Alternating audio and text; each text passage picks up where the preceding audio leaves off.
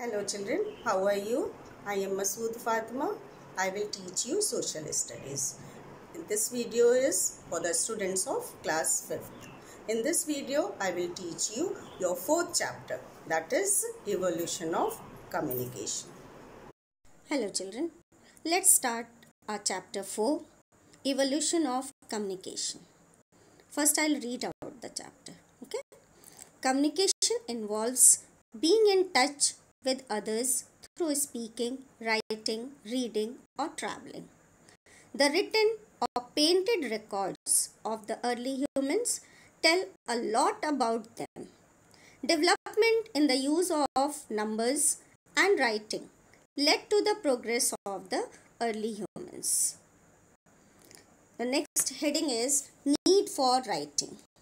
Anything that is in writing can be preserved for a long time. Moreover, written records are like evidences which enable a lot of understanding and progress. Oral messages or information can be erased from the memory. However, written words remain. They can even be used for research purposes. The drawings, paintings, and writings of the early humans reveal a lot of correct information about them. Initially, the early humans made drawings and paintings on the walls of the caves where they lived. Then they started using symbols which led to the development of script. The earliest form of writing was developed by the Sumerians. It had wedge shaped words and symbols and was called cuneiform. Egyptians used a system of picture writing called hieroglyphic. In India, the people of the Indus Valley civilization used the oldest script.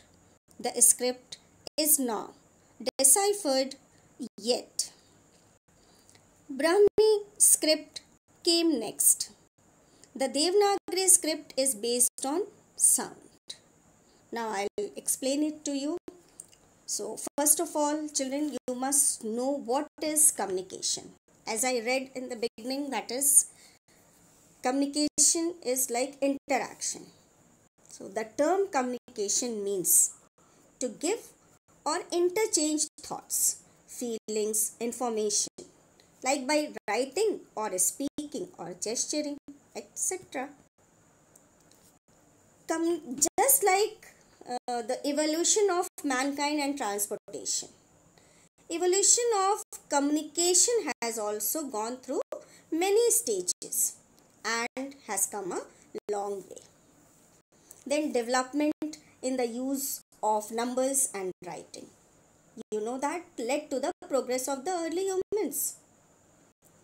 First, early humans during the Stone Age started to communicate and express their thoughts and feelings by signs and gestures means hand signals, sounds and their facial expression. They were able to send signals by fire and smoke, beating drums and whistling or making sound such as sometimes at a low pitch means social information and at a high pitch means as a warning sign. It acted like warning sign. Later on they started to communicate through cave paintings. Then they started using animals like camels, pigeons, then postcard system, telephone, telegraph, all that etc etc to communicate. So the question arises that uh, why people felt a need for writing. So uh, you know that written matters or facts can be preserved or can be kept as a proof for a long period of time which can be used as references whenever we need or to clarify our doubts or understand any fact where we are puzzled or confused. Like about the early humans how we came to know? We came to know about the some written records some uh, writings uh, scripts on the or uh, paintings on the walls of the caves like that only. And oral messages they can't be remembered for a longer time. The written messages can also be used for research purposes. Okay? So mm, moreover there are lots of different reasons for communicating.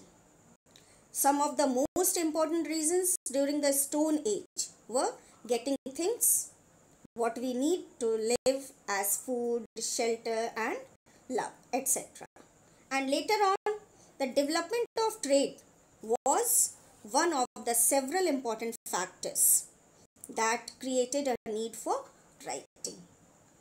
And first of all, the earliest system of writing that was invented by Sumerians uh, in an ancient Mesopotamia that is cuneiform and Mesopotamia that is today it is Iraq. Okay? Around 5500 years ago it was invented. And it had wedge shaped words and symbols marked on clay tablets by using reed as a pen to make marks uh, on wet tablet. What is reed? Reed is uh, mm, a tall cylinder leaved plant. Its harder part is used um, in order to engrave or make mark on the wet clay tablet and then it was dried and then it was used as a um, document. So then came the hieroglyphics. Hieroglyphic it was a system of pictorial writing used by the Egyptian. It was particularly used on ancient Egyptian monuments. Okay. Then came the Indus Valley civilization was an ancient civilization located in what is today Pakistan and northwest India. The people of the Indus Valley civilization used the oldest scripts containing symbols.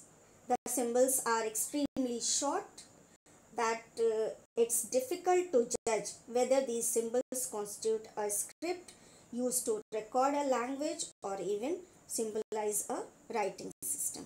So it was difficult to uh, convert it to language it was in it was so short written next came the brahmi script. It is the earliest writing system developed in india after the indus script. Then came devanagari script. It is derived from brahmi script. It is used to write many indian nepalese languages. Indian and Nepalese languages such as Hindi, Sanskrit, Marathi, Bhojpuri and Nepali of course etc. It's written left to right. Brahmi script is fully developed and universal script. Okay. Then came the use of numbers. This I am going to uh, read now. The early humans used pebbles and sticks for counting. Later, counting on fingers became popular. With the passage of time, various ways of writing numbers came into existence. The Sumerians used special shapes to count in 60s. The Roman numeral system was developed by the Romans. The number system that is in use today was developed in India. This Hindu Arabic system was taken by the Arabs to Europe. Moreover, the concept of zero was also India's gift to the world. Then use of pigeons. In olden days, people used pigeons to send letters to people living at far off places. People realized that homing pigeons had the ability to fly back to their homes. So, people trained pigeons to use them as a means of communication. Briefly written messages were tied to the legs of the pigeons and they flew away to deliver them. Moreover, for not very far off places, people rode on horses with a message in their hand. Such ways of communication continued for nearly 3000 years till the 20th century.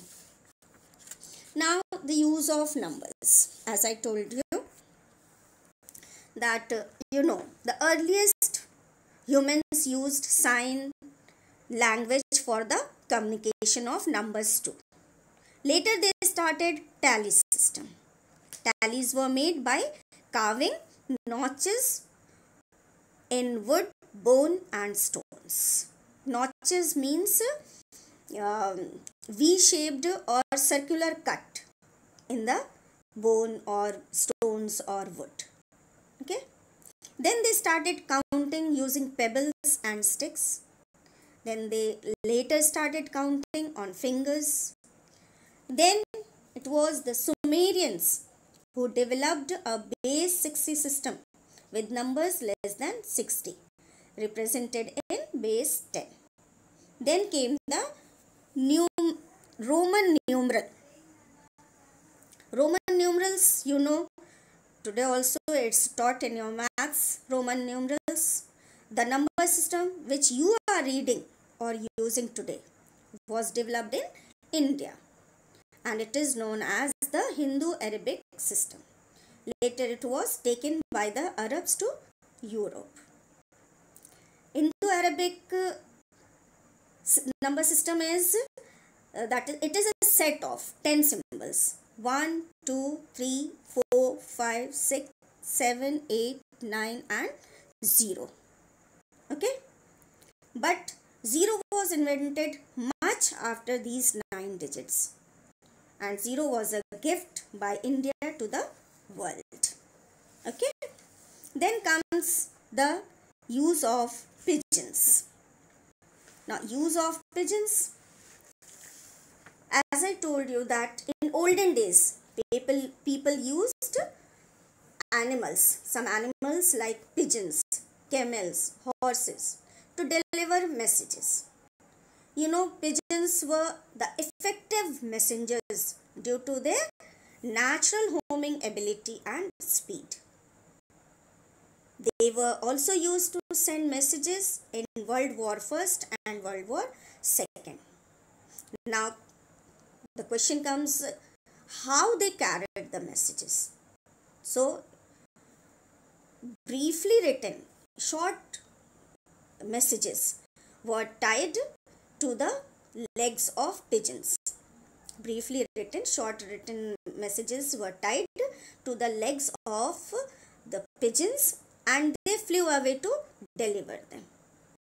Moreover, for not very far off places, people rode on horses with the messages in their hands and also people used to deliver their messages to a person who delivered it while riding a camel. Okay. So, that's all for these topic about these topics means uh, need for writing use of numbers use of pigeons all that is. And the other topics like printing invention of printing press invention of telephone computers telegraph radio television cinema uh, communication satellite all these i'll be uh, explaining you in my next video. Till then thank you and